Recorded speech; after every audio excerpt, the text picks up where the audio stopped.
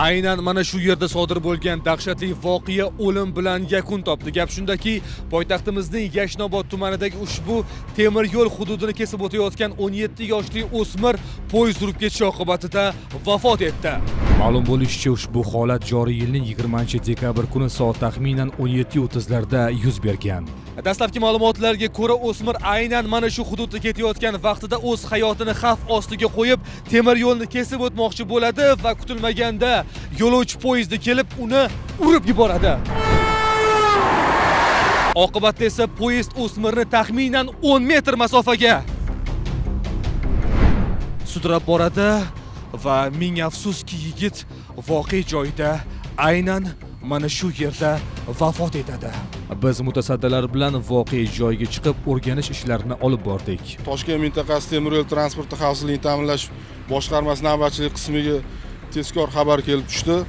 Xabarda aytilishicha o'sha e, toshkent salar e, temir yo'l bekatlari oralig'ining o'ttiz uch oltmish beshinchi kilometrlarida harakatdagi yo'lovchi poyezd e, bir fuqaroni urib yuborganligi ma'lum qilingan. O'rganishlar davomida e, o'sha yo'lovchi poyezdi mana toshkent markaziy vokzali tomonidan bu yoqqa salar bekat tomonga harakatlanib ketayotgan bo'lgan. Signal berishgan ogohlantirish signalini berishgan lekin voyaga yetmagan o'smir shu qulog'ida quloqchin bo'lib boshida o'sha kapishonka kiyimi bo'lganligi uchun yonidan kelib qolgan poyezdni sezmagan.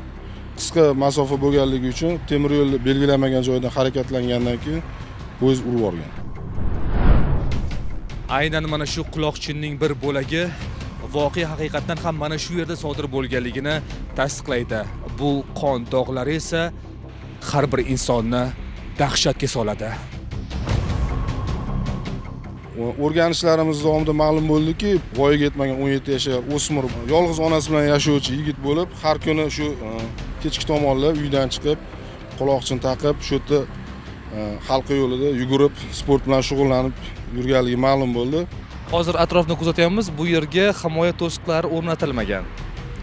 Haqiqatda e, temir yo'l o'zi xavfli hudud deb hisoblanadi. Temir yo'l yaqinlarida yashovchi aholi o'rtasida korxona tashkilotlarida o'quv muassasalarida targ'ibot tashviqot ishlarini olib boramiz. Mana hozir o'zingiz ko'rdingiz aholi ko'p harakatlangan joylarga mana stalbalarga o'sha temir yo'lni belgilanmagan joydan harakatlanish taqiqlovchi belgilarini o'rnatganmiz. O'sha fuqarolarimiz ogohligi uchun. E'tibor bering.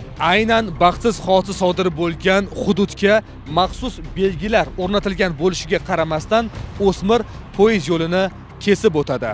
Toshkent transport prokuraturasi holat bo'yicha rasmiy izoh berdi hozirgi kunda toshkent transport prokuraturasi tomonidan mazkur holat yuzasidan tergovga qadar tekshiruv olib borilmoqda. Natijasiga ko'ra qo'shimcha axborot beriladi. Millar dasturi marhum yigitning oila a'zolariga chuqur hamdardlik izhor etadi. Biz lavha so'ngida yana bir bor barcha fuqarolardan xavfli hudud sanalgan temir yo'lda telefondan va quloqchinlardan foydalanmasligingizni ruxsat etilmagan hududlardan o'tmasligingizni so'rab qolamiz.